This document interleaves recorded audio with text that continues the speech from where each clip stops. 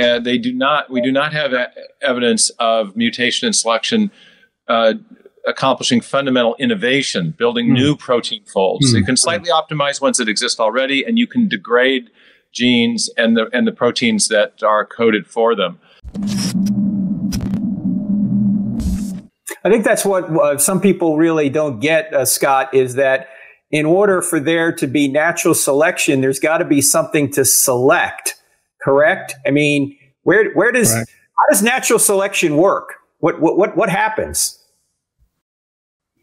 Well, I mean, that's the question. How you know is it is it a, a positive process that you can start with something um, simple and make it more complex?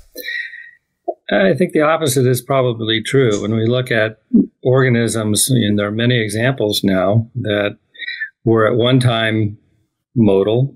They had they had the genetic information to build a flagellum, but they've acquired a mutation. And what you find over time is the system is is even further degraded.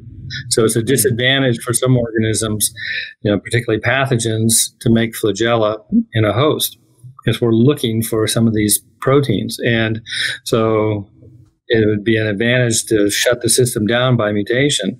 But then when you see what happens over time, is the other genes downstream also become sinks for you know insertion elements or other mutations. So if you don't use it, it degrades over time. Hmm. And that is, you know, antithetical to the process that you need for some antecedent uh, product to be held in place so that you can add to it um, sequentially uh, by mutation and selection. It just doesn't seem to work. Yeah, Steve, we can't have we it should ways. stipulate, Frank, that uh, Uh-huh. ID proponents all accept that mutation and selection are real uh, is is a real process, a combination process, and both both things are at work: natural selection and mutation. But what we see is that either they preserve very modest changes that slightly optimize an existing what what a fundamental unit of life called a protein fold, or they degrade. And they do not. We do not have evidence of mutation and selection uh, accomplishing fundamental innovation, building Mm. new protein folds. Mm. You can slightly optimize ones that exist already, and you can degrade genes and the and the proteins that are coded for them. So uh, it's not a process that you can invoke to account for the large stepwise or uh, abrupt uh, increases in genetic information that we see arising in the history of life.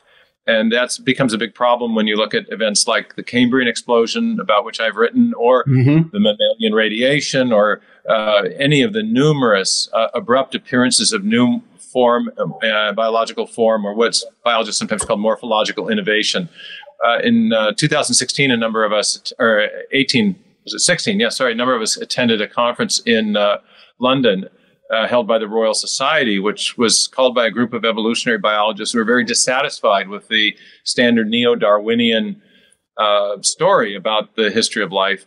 And they're looking for new mechanisms of evolutionary innovation because they recognize that neo Darwinism and its mutation selection mechanism, uh, as one, one scientist put it, um, la- lacks a theory of the generative. It doesn't explain major innovation. It explains, Mhm. in fact, we've heard over and over again uh, st- biologists saying that uh, mutation and selection can explain the survival, but not the arrival of the fittest. Mm. Explains how things are slightly modified to continue to survive if you can presuppose the form and structure they already have, but the, the mutation selection mechanism doesn't explain how, how, how fundament, fundamental innovation arrived in the first place.